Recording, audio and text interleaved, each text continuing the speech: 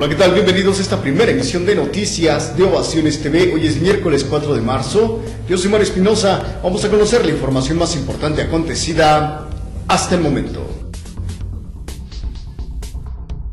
El día de ayer el presidente Felipe Calderón hizo cambios en su gabinete, específicamente en el caso de Luis Telles, ya que lo removió de la Secretaría de Comunicaciones y Transportes. Usted recordará por estas extrañas llamadas en las cuales él culpaba al expresidente Carlos Salinas de Gortari de haberse robado la mitad de la partida secreta, así como también decir que extrañaba al PRI. Le comento que el presidente Felipe Calderón encabezó el acto en Los Pinos donde anunció el relevo y la llegada de Juan Molinar Orcasitas, quien deja el Instituto Mexicano del Seguro Social, a donde de arriba a su vez Daniel Caram, hasta ayer titular de la Comisión Nacional de Protección Social en Salud y responsable del Seguro Popular. Asimismo, la salida de Sergio Vela del Consejo Nacional para la Cultura y las Artes, la CONACULTA, implicado también en escándalos por sus viajes en primera clase y gastos presuntamente no justificados en hoteles y viáticos diversos. En su lugar aparece Consuelo Sáizar, quien ocupaba la dirección del Fondo de Cultura Económica, a donde llega Joaquín Díaz Canedo Flores. Y en más información, la ex subsecretaria de Comunicaciones y Transportes, Purificación Carpinteiro, declaró que por el bien de México le dio gusto a la salida de Luis Telles. La exfuncionaria negó ser la responsable de su renuncia y la villana de la película. Estas últimas horas han sido muy interesantes en cuestión informativa porque no solo se vieron movimientos en el gabinete del presidente Felipe Calderón aquí en nuestro país, sino que también el ahora presidente Raúl Castro removió al vicepresidente y a un canciller de Cuba y Fidel Castro ya dio sus primeras declaraciones en torno a esta situación. El líder cubano Fidel Castro justificó la remoción de dos altos funcionarios, aparentemente en referencia al vicepresidente Carlos Ley y el ex canciller Felipe Pérez Roque, por tener ambiciones que los condujeron a un papel indigno. La razón era otra, la miel del poder por la cual no conocieron sacrificio alguno, despertó en ellas ambiciones que los condujeron a un papel indigno, agregó. Vámonos rápidamente un corte, no se vaya, regresamos.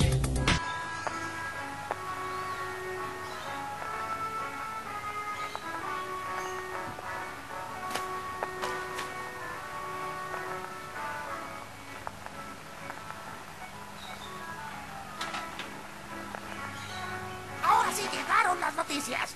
En esta jornada de la Apertura 2006, el campeón vino de atrás para derrotar 2-1 a su archirrival, quien no supo encontrar... Ovaciones, el balance perfecto entre imágenes e información.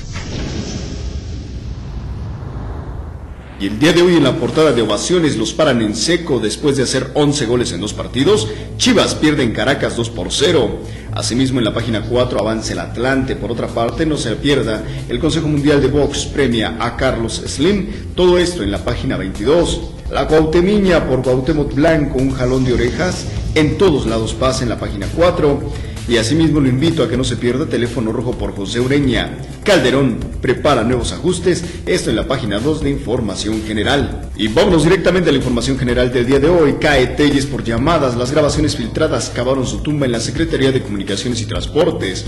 Papel indigno del gabinete justifica Castro en la información internacional, no se la pierda, en la página 7. Por otra parte, Prío Chentón rejuvenecido. Buscan tesoro y mueren. En San José del Rincón, cuatro integrantes de una familia y dos rescatistas perdieron la vida al excavar un túnel debajo de su casa en busca de oro. Esto y más información el día de hoy en Ovaciones. Y vamos a conocer el termómetro Ovaciones del día de hoy. A la alza. Daniel Caram por su discurso realista y alentador en torno del desarrollo del Instituto Mexicano del Seguro Social. El funcionario se comprometió a dar continuidad a los proyectos puestos en marcha por Juan Molinar Orcasitas, con lo que se fortalecerá la infraestructura y los servicios que ofrece el IMSS. A la baja. Luis Telles, cuyas deslealtades y escándalos finalmente lo marginaron del gabinete, el ex titular de la Secretaría de Comunicaciones y Transportes, despotricó contra medio mundo y le jugó sucio al PRI y al gobierno que lo cobijó durante dos años. Los epitetos referentes a quienes lo apoyaron durante su carrera política ya son épicos. Las noticias más importantes de México y el mundo, justo en el momento en que está sucediendo, en los noticieros matutinos y vespertino de Ovaciones TV.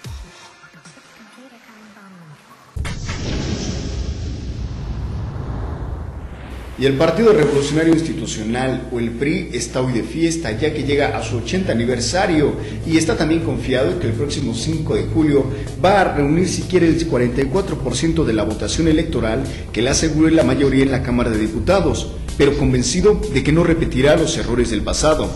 La expresidenta del Comité Ejecutivo Nacional del PRI, María de los Ángeles Moreno, afirmó que su partido llega a un octagésimo aniversario con ánimo de transformación, de renovación, para ser más fuertes, regresar con mejores propuestas y con el ánimo de gobernar adecuadamente, no como está ocurriendo. Así la información más importante hasta el momento. Recuerde mantenerse bien informado en la segunda emisión de Noticias de Ovaciones TV con Airam García. A mi nombre está más y como siempre agradecerle nuevamente su atención. Yo soy Mario Espinosa. Hasta la próxima.